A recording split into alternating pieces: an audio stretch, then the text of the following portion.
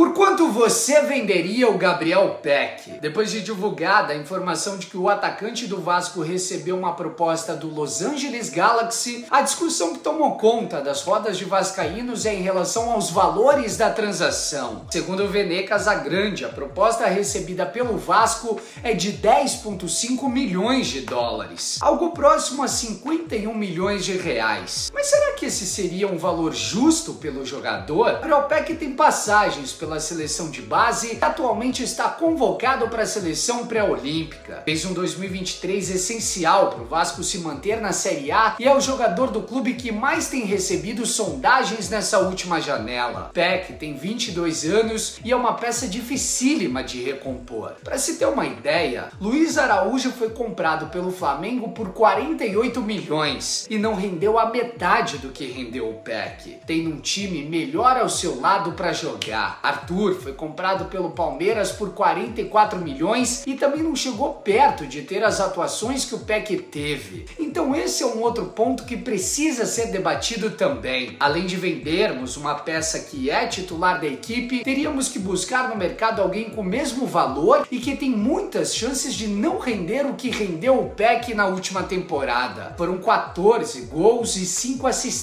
para um ponta que vem crescendo a cada temporada e com potencial enorme para se manter em evolução nos próximos 10 anos. Vender por 10 milhões de euros é um tiro no pé, na minha opinião. O Vasco acostumou-se a vender talentos por valores irrisórios. Isso é algo que eu sempre esperei que mudasse com a nossa SAF. A nível de comparação, faturamos 255 milhões de reais na cotação atual pelas vendas de Coutinho, Andrei Santos, Paulinho e Douglas Luiz. O Flamengo, com as vendas de Vinícius Júnior, Paquetá, Renier e Gerson faturou 720 milhões. É uma disparidade que reflete na estrutura e principalmente no campo. O primeiro passo para um time competitivo é vendermos as nossas joias de forma justa. A conta é simples: paga o que o PEC vale ou não vende, porque com toda certeza ele será uma peça útil para o Vasco em 2024 também. A vontade do jogador deve pesar muito nessa negociação. Jogar MLS, segundo informações, é desejo dele também, mas para liberar, precisamos aumentar a pedida para recompor com uma peça que seja uma certeza. Apesar de não existir certezas no futebol, né? Mas existem aquelas peças de menor